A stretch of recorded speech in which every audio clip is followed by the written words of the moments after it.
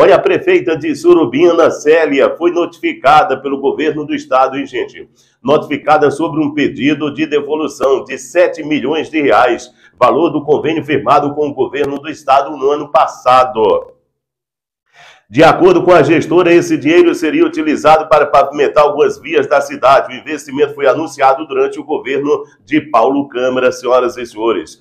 Eu falei, de acordo com a gestora, uh, esse dinheiro seria utilizado então para pavimentar algumas vias da cidade, daqui de Surubim, viu? O investimento foi anunciado durante o governo de Paulo Câmara. A solicitação, gente, da devolução desse valor de 7 milhões de reais aos cofres eh, do governo do estado de Pernambuco foi publicada no Diário Oficial, viu? Ao todo, 17 cidades foram notificadas. A justificativa dada pelo governo foi que esse dinheiro será investido na educação, senhoras e senhores. Então, tá aí as informações, então, senhoras e senhores, do governo do estado, alegando que é, esse dinheiro será investido na educação. E é bom lembrar que recentemente nós falamos aqui de que o governo do estado anunciou é, 5,5 bilhões de reais é, para a educação é, nos próximos quatro anos, ou seja, na gestão, nessa primeira gestão da governadora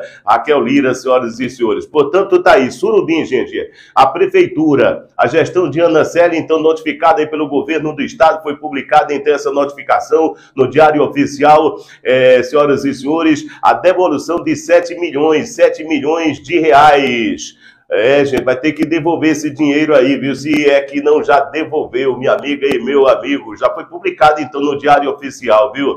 Pois é, a gestão de Ana Célia, da prefeita daqui de Surubim, alega que esse dinheiro seria investido é, em calçamento da cidade, viu? Em calçamento. Surubim tem muita rua, viu? Muita rua mesmo. É, sem calçar, muitas ruas sem calçamento e muitas ruas danificadas. Calçamento, uma porcaria aqui em Surubim. Isso não é de hoje, não, viu? Não é de hoje, não, gente. Não é de hoje dessa questão de calçamento. Até na cidade mesmo, no centro da cidade, melhor dizendo, no, no, nas ruas é, mais centralizadas. E tem ruas no centro da cidade que nem calçamento tem. É na lama, é na poeira mesmo, é isso. Não é de hoje, não. Ó. De muito tempo aí, viu? E a gestão de Ana Célia disse que esse dinheiro seria utilizado para a construção de calçamento, ó, senhoras e senhores. Então tá aí, viu? Vai ter que devolver esse dinheiro ao governo do estado. Convênio firmado no governo de Paulo Câmara, do PSB, o pessoal lá atrás, viu? Pois é, minha gente, tá aí, viu? 7 milhões de reais, dá para fazer muito calçamento aí, viu? 7 milhões de reais, dá para fazer muito calçamento aí. Então tá aí essa perda, essa perda aí, é, senhoras e senhores, é da gestão de Ana Célia, essa perda aí, é, é, 7 milhões de reais a menos para a construção de calçamento aí, devolvendo esse dinheiro aí para o governo do Estado. Tem que devolver. O Estado diz que é para educação, viu, gente? O Estado diz que é para educação e já foi anunciado aí pela governadora Raquel Lira, pelo governo, na sua gestão, então, é, investimentos aí de 5,5 bilhões, 5,5 bilhões de reais, minha amiga e meu amigo, é, somente para a educação, viu? É, na gestão de, de Raquel Lira, viu? Pois é.